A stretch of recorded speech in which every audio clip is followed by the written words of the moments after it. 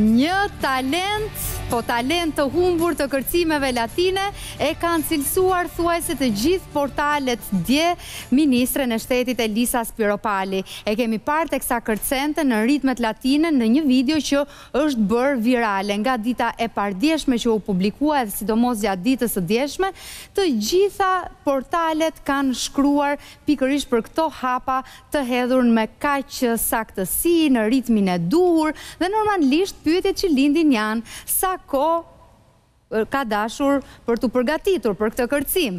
Hm, sa punë fshihet mbas kësaj, ka kurse të tëra apo çfarë, është një pasion dhe një talent që nuk na e kishte zbuluar deri më tani, do të na e tregojë vetë ajo mbas prezantimit të insertit.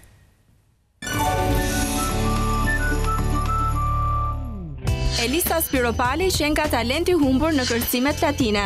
Ishte ky titulli që e pamë gjithandej dy ditë më parë dhe shkak u bë kjo video.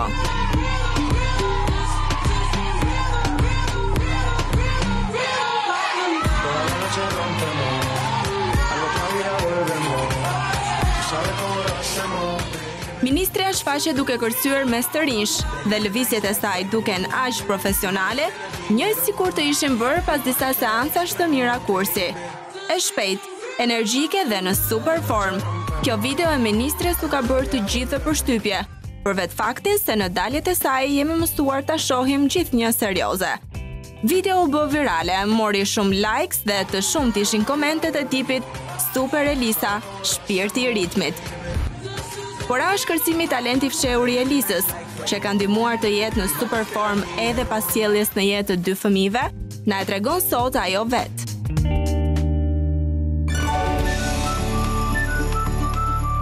Tani me Elisa Spiropalin.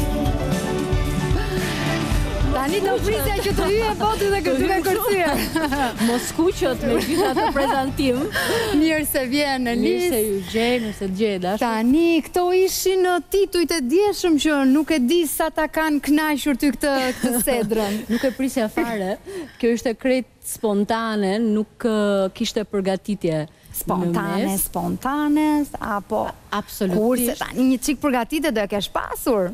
Arbioli ka mhm. një akademi vallëzimi dhe janë shumë vajza të reja të vogla që mësojnë mu në qendër të Kamzës nga Kamza nga Tirana nga Tapiza nga Fushëkrua etj dhe unë nuk e dija që ishte kaq vend fantastik kaq vend i mrekullueshëm mendoja se ishte një akademi më e vogël dhe më thonë këto të stafit tim do kalojmë aty se kishim një inagurim edhe të takojmë pak Arbiolin edhe shohim se ç'ndodh futem brenda unë shoh gjithë ato çmime që kishin marrë, komunikime, i kishte bërë retweet Maluma, e të tjera historira, dhe ato vajzat ishin fantastike, ishin gjeniale në lëvizje, dhe edhe mua më kapi ritmi dhe bëra ato që patë. Kaq, pastaj ajo u bë virale në rrjet. Të kapi ritmi. Tani ti e pate ndonjë moment të ndrojën apo si më thënë kostumi i ministres që do vallëzonte në atë pistë. Ishte në ndonjë moment ky merak apo? Nuk e pata fare ndrojën sepse ishte kamera ime. Edhe thash për çdo rast unë do ta pres nuk do ta nxjerr në rrjete sociale, e kisha në dorë, nuk është se ishin kamera të tjera, kështu që isha vetja dhe doli ajo që që pe. Ëh, e postove. Mua gjithmonë më ka pëlqyer të Të kërcesh. Të kërcej, po nuk kam bërë kurrë kurse këtu apo që të jem përgatitur. Ndoshta te Arbioli do çoj Naltën edhe do shkoj, do shkoj pak dhe vet. E, ja sa do të pyes se ndërsa shihnim Instagramin tënd pamë dhe foto të sajat, të të veshur kështu si balerinë, por që pastaj qëndrojmë pak, qëndrojmë pak tek tek kjo përgatitja jote dhe tek pasioni yt. E postove me qëllimin që paskam kërcyer mirë edhe do eci, apo? Kur vendoset. Unë e postova të gjithë videon, nga hyrja, prezantimin që më bënë vajzat duke kërcyer dhe një pjesë e videos ishte kërcimi. Kur pashë që ajo po merrte shumë komente e hodha pastaj vetëm këtë pjesë në Instagram Edhe mori dhenë si duket ne na shohin ne na shohin si të ngrira si serioze që mbajmë fjalime të egra që përplasemi me kundërshtarin. Po pra kjo përdredhja e kokës ja shikojmë videon tani aty. Po edhe mund të kemi edhe talente të tjera edhe Olvi. Unë e kam pak të hershme në fakt tregoj historinë, unë gjashtëmbëdhjetë vjeç kam shkuar në Kanadanë Perëndimore në një kolegj ndërkombëtar. Kam bërë vitin e tretë dhe vitin e katërt gjimnaz në një nga kolegjet e Botës së Bashkuar. Në fund të botës, në paqësor, më afër me Japoninë se me Evropën, gjashtëmbëdhjetë vjeç ishin, ishim dyqind nxënës nga tetëdhjetë vende të botës.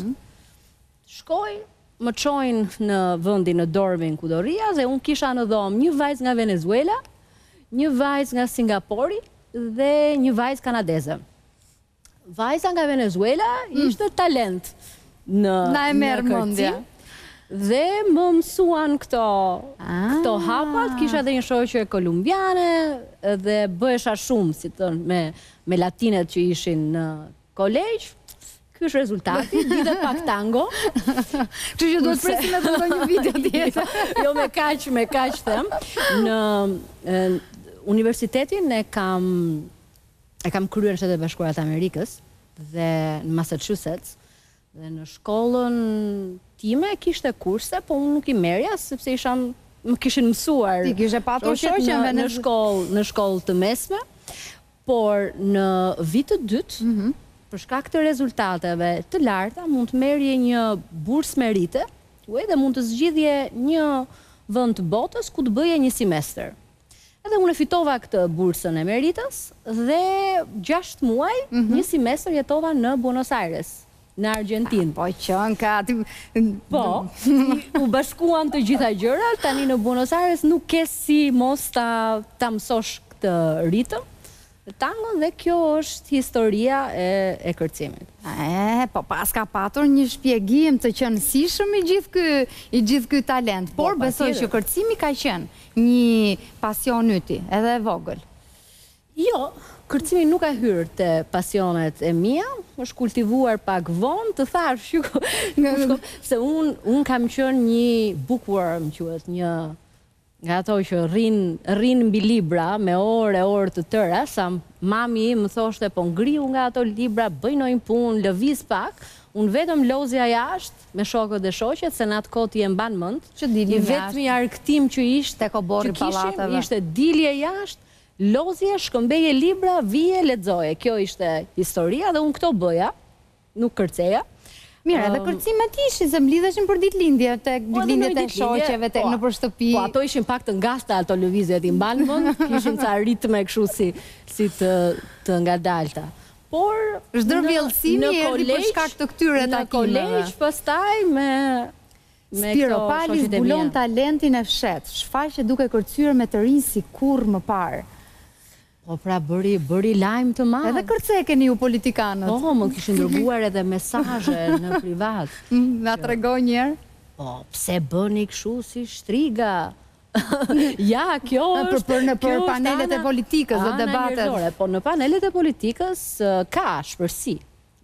Edhe pse ruhet niveli, po kur të shohin kështu besojnë ndihen më të afërt, sidomos sidomos të rinjtë. Po tani cila është Elisa, që ta kuptojmë neve, kjo e vallëzimit, e këtyre hapave ritmikë të hedhur në këtë formë kaq të pëlqyer, të paktën kështu rezultoi, apo ajo e debateve të ashpra? Edhe ajo, edhe ajo. Okej, edhe e kërcimit tha edhe e debateve. Të gjitha, të gjitha Sepse kur e ke pasionin për një gjë, e ke e ke për të gjitha. Unë nuk bëj gjë kot, nuk nuk i bëj gjërat me shtysë, unë i ndjej ato që bëj, edhe mundohem t'i bëj mirë. Siç thotë një shprehje, çfarëdo që të bësh, bëje mirë.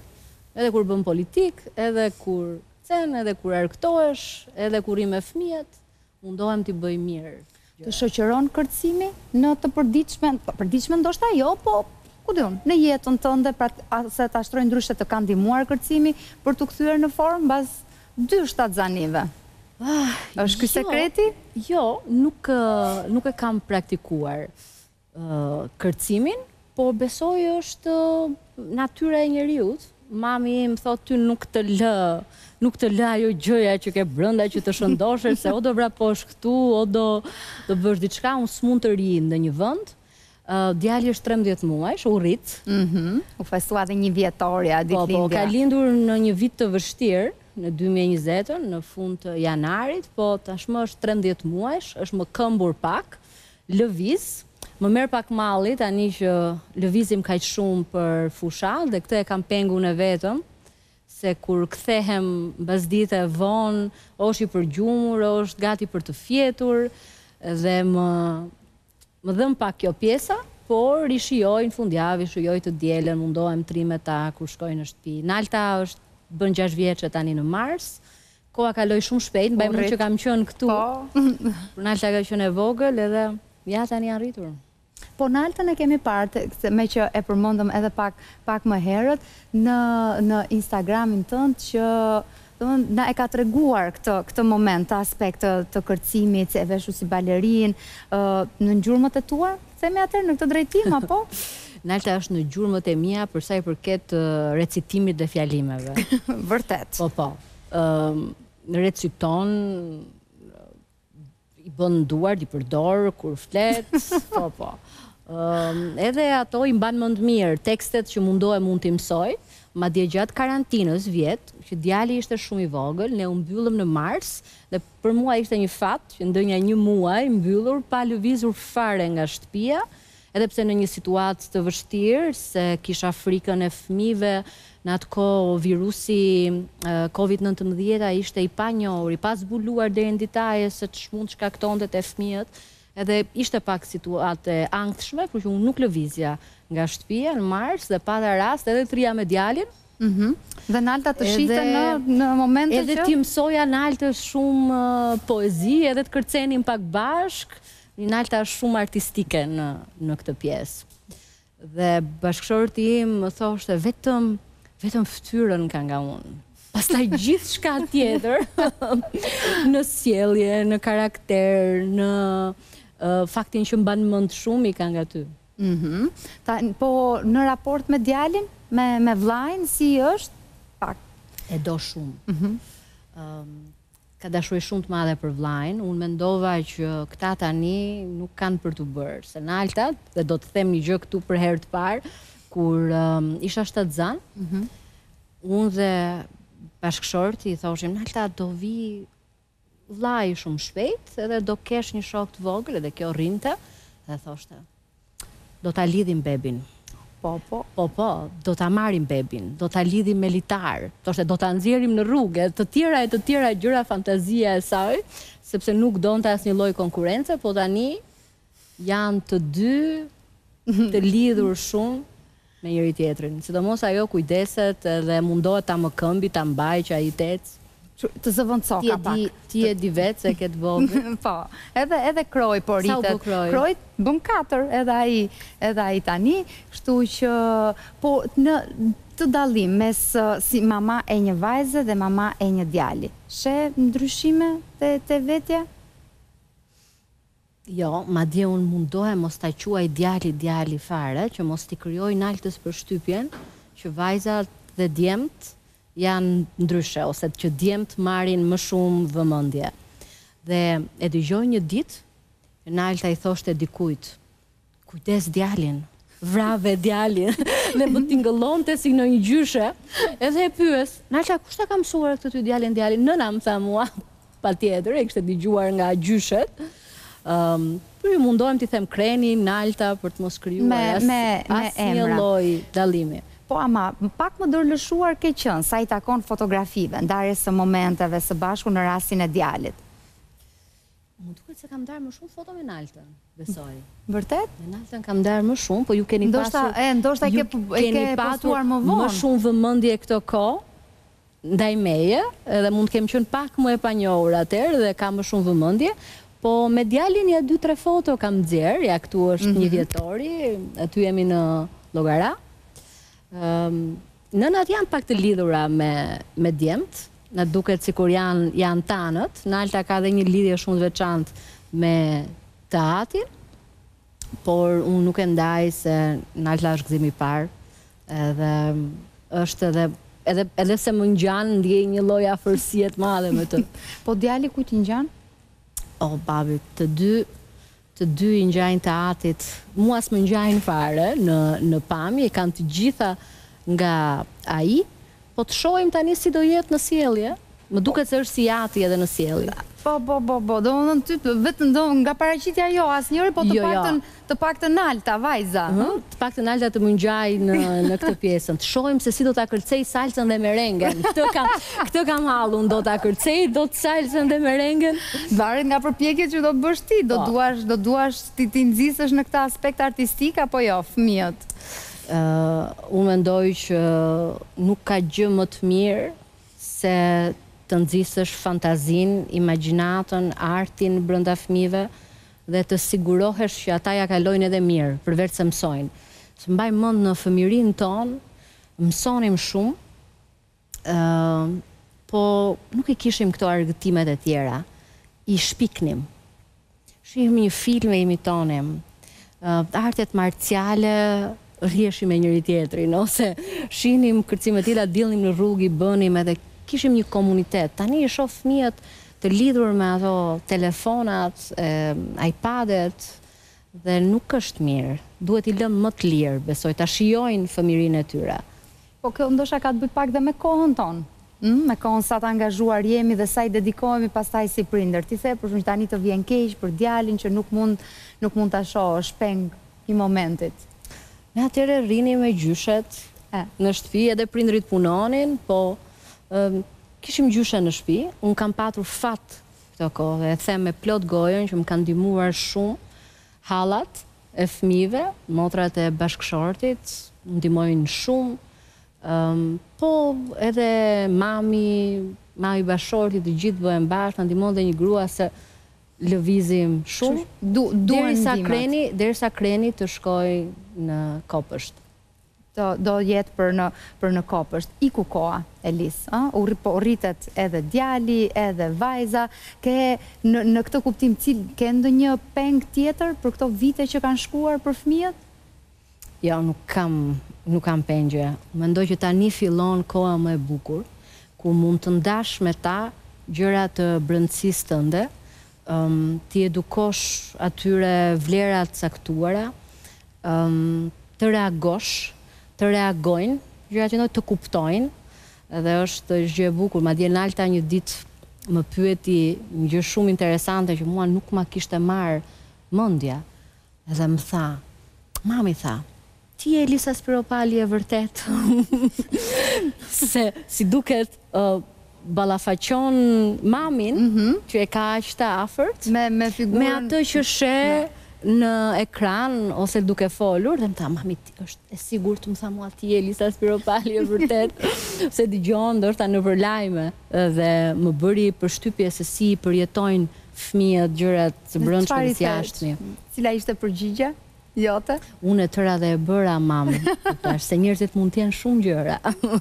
Mund të jenë dhe mama, mund të jenë edhe aty në parlament, mund të jenë edhe balerinë, mund të jenë ç'të duan ata dhe ti Duhet të zgjedhësh atë që do të jesh. Je je kaq ndryshe domethënë në shpi je mamaja që që luan, argëtohesh, shtrihesh në tokë, bëhesh, ku di unë, po Jam, jam, kur jam me ta, ëm, nuk jam obsesive, nuk jam njeri që ka frikë që fëmija mos të ecë apo që duhet ta ushqej vetëm unë apo që duhet të hajë vetëm këtë, jo, i lë në lirinë e tyre, madje Salarioni bashkëshorti më thotë mua a t'ishte për ty, Nalta do shpallte pavarësinë këtu në këtë shpi dhe do ishte republikë më vete, se ti ti thua të bëjë ç'të dojë, t'hajë kur t'i hahet etj, është ky parimi që na kanë mësuar andej në këto shkolla anglosaksone që mos i detyro asnjëherë fëmijët të bëjnë gjëra, po edhe pak disiplinë duan.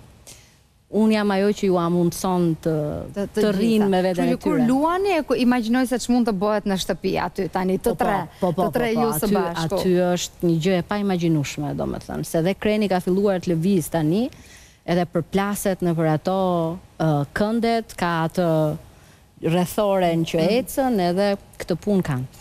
Dhe e fundit, videon, meqë video ishte dhe sebepi i këtij takimi sot në Ftesë në pesë, e pa Nalta mamin duke kërcyer aty? Po, po. Po, po, ça tha? E pa Nalta dhe më thoshte mua vëre, se të njëjtën këngë, këtë ritmo e kanë dhe në një nga këto kërcimet ku janë fëmijë të një akademie, më duket se është në Spanjë, dhe kjo i sheh ata Edhe e kërcen dhe rastësia e deshi që e njëjta këngë të më dilte mua përpara në akademinë e Arbiolit, kështu që u ndje shumë e afërt se ajo e kërcen nga pak duke i parë Dhe çfarë note të vuri se në fund të ditës nota e fëmijëve sikur na na peshon më shumë. E di ç'më tha? Unë jam Nalta Totaj, por do kërcej si Spiropali.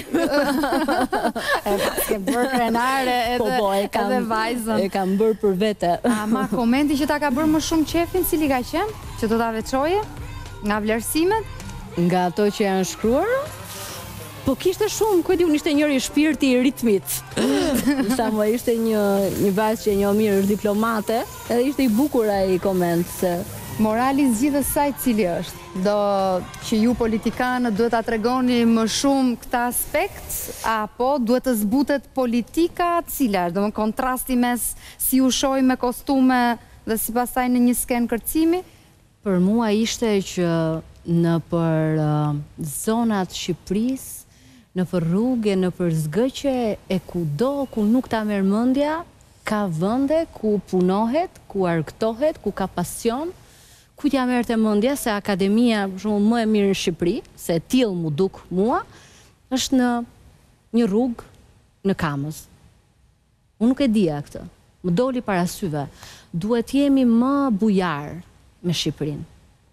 T'i japim shans Të kuptojmë që këtu ndodhin gjëra shumë të bukura, këtu punohet, këtu jetohet, këtu ka pasion, këtu ka përpjekje të jashtëzakonshme njerëzore, këtu ka një energji jetësore shumë të madhe, të cilën duhet ta shohim, duhet të kemi sy për ta parë edhe për ta ndjerë. Unë në këtë fushatë këtë kam shijuar më së shumti.